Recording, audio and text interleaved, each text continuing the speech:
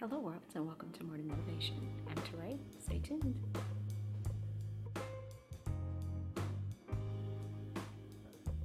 We become very successful at achieving our goals when we first make up our mind to do so.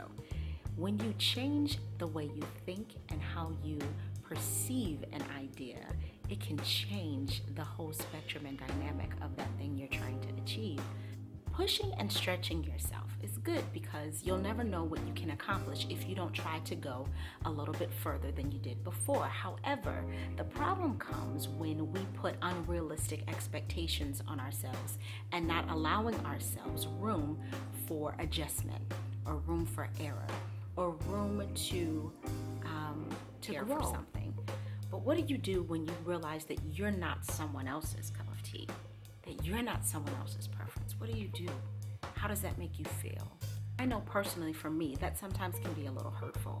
However, all you've just discovered is just someone that you just don't vibe well with. You know, like oil and water. You might not just mix that's not saying anything bad about the other person, and it's definitely not saying anything bad about you.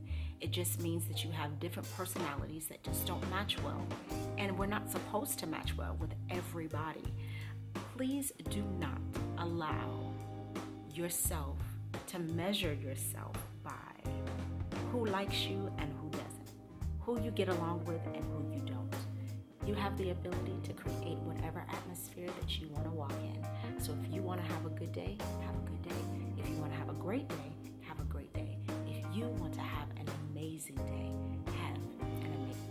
As always, thank you for spending your morning with me. Leave a comment down below, like and share this post, subscribe to my YouTube channel, and to have a good day. God bless you. Have an amazing day.